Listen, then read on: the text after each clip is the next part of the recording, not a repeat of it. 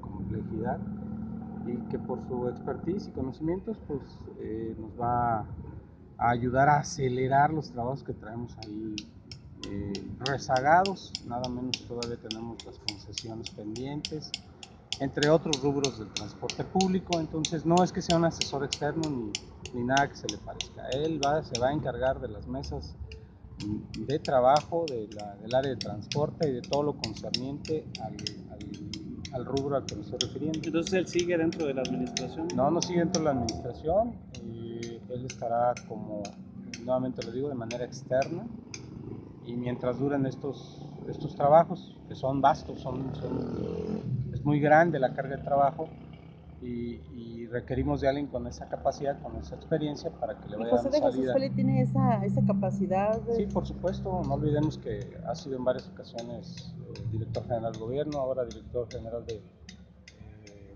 seguridad y, y, recientemente secretario. Entonces, eh, no solo en el municipio de Irapuato, en, en algunos otros municipios del ¿Y la salida por qué se da, señor?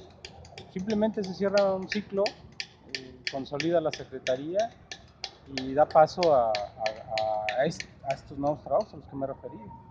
Hay mucho que hacer todavía en transporte y eso es lo que debe. ¿Fue por enfocarse. falta de resultados? No, no, no, no, Ni siquiera especularé yo al respecto de eso. Los resultados ahí están.